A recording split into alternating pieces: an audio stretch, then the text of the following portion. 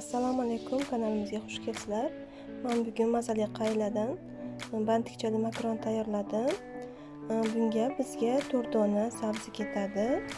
Buni e, uzunasiga to'rg'ab kubik qilib to'rg'ab olamiz maydaroq qilib.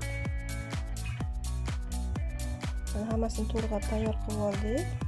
Endi kartoshkamizni ham gulli pichog'imizda kubik qilib to'rg'aymiz va ozgina kattaroq shaklda to'rg'aymiz kartoshkamizni ikki dona kartoshka yetadi bizga. Tayyor bo'ldi.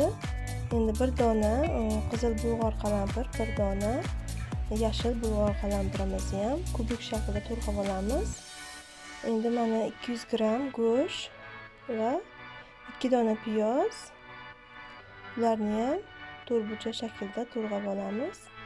Go'shtimizni ham birinchi bo'lib mana to'rg'ab tayyorlab oldik. Piyozimizni ham to'rg'ab olamiz tayyor bo'ldi. Endi bunga ozgina jandu solvoramiz mazasini shirin va ko'rinishini chiroyli qilish uchun. Ozgina mana chesnak ham to'rg'ab yuboramiz ushbu ta'm keltirish uchun. Mana endi qizib turgan tovamizga yog' quyib ozgina. Piyozimizni qovurib olamiz tillarang kelgungacha qovuramiz mana qizargandan so'ng go'shtimizni chala qovurib olamiz. Uzoq olib bormaymiz qotib qolmasligi kerak go'shtimiz. Chunki qolgan masalliqlarimizni ham qovurishga vaqt ketadi mana ozgina qovurganimizdan so'ng sabzimizni solib yana qovurishga kirishamiz. Ozgina tuz solib yuboramiz, tabga ko'ra. Va kartoshkamizni solib yaxshilab aralashtiramiz.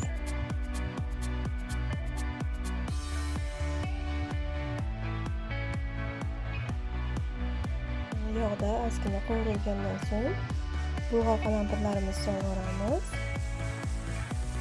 yana ozgina qovurib chiqamiz.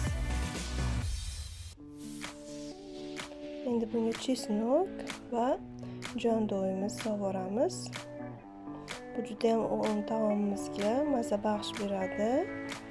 Ziravorlar va ozgina achchiq solamiz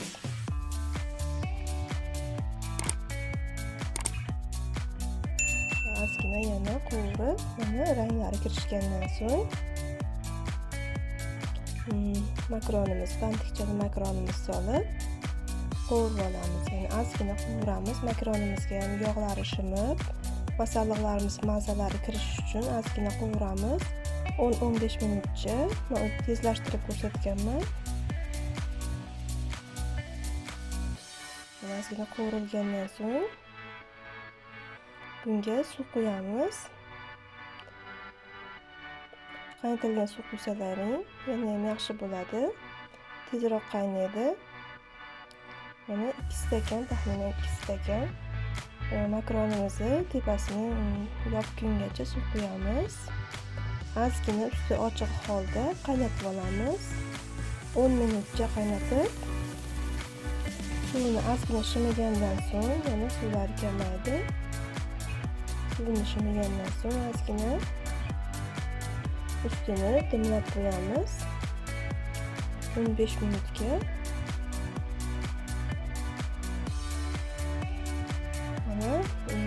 vaqtimiz ham o'tdi taomimiz ham tayyor bo'ldi. Bu juda mazali va shirin tayyor bo'ldi. Albatta sizlarga ham tavsiya qilaman. Youtubeda ham tayyorlab ko'rishlarini.